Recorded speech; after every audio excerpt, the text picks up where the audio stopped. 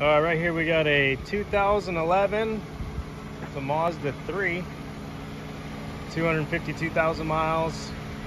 Car just came in it's pretty darn clean. If you didn't know the miles you wouldn't think it had that many just by looking at it.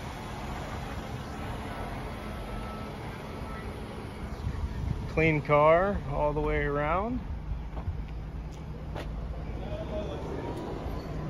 The paint is clear coat's coming off the top, the roof a little bit.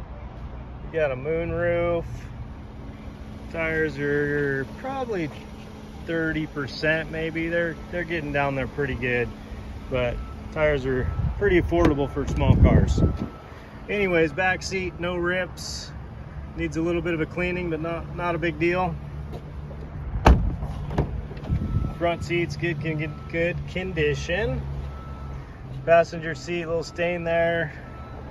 Just get the get the machine out and give it a good good going through the inside. It's not really that bad. It's just a couple spots. There's the dash, car's running, 252 on it. Um, AC needs recharged or something. It's not blowing cold. Let's see if the moonroof works. Yes, it does. Car drives down the road just fine.